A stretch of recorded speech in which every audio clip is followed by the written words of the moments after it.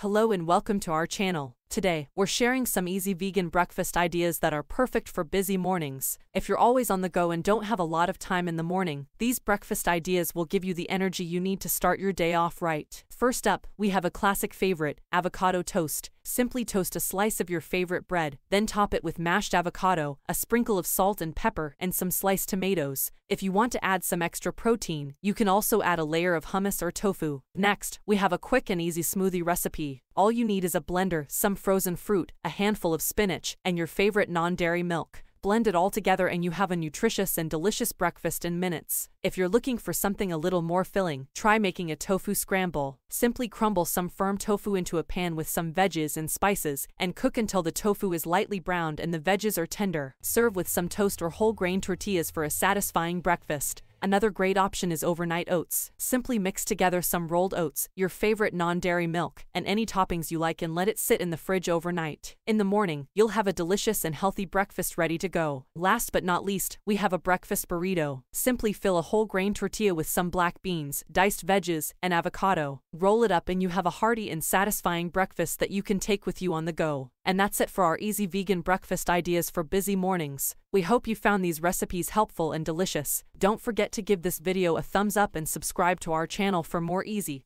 and healthy meal ideas.